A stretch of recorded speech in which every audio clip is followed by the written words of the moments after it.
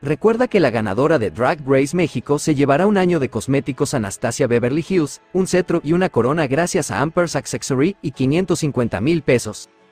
Hoy tenemos como jueces a Oscar Madrazo y al juez invitado Manolo Caro.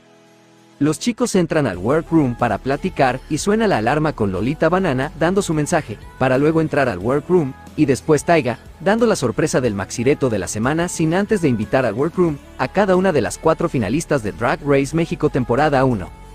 Y al finalizar presentando el Roast México, donde cada queen rosteara a las finalistas de Drag Race México 1 y hacer reír al jurado. Y al final Taiga da el nombre de la pasarela que se titula La Noche de las Mil Selenas.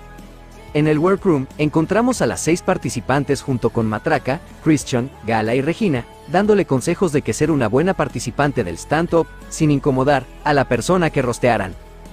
Henry y la puerca se ponen de acuerdo, que Reina iniciará y finalizará en el roast. El día de la eliminación llegó iniciando con la pasarela entrando Lolita Bananas y luego Taiga. Presentando el primer roast de las finalistas de Drag Race México.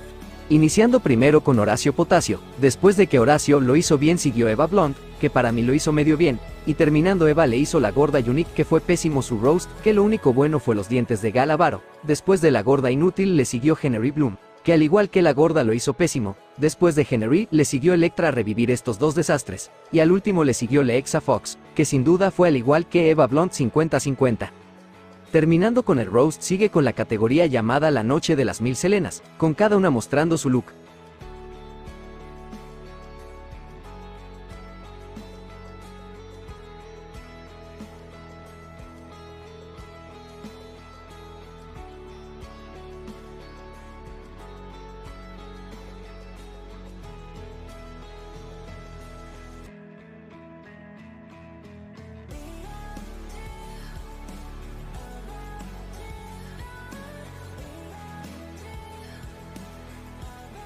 Las que se salvan son Eva Blunt, Electra y Lexa Fox, por lo que Unique y Henry Bloom se van a lip sync con la canción de Tecno Cumbia de la icónica Selena, que sin duda Henry Bloom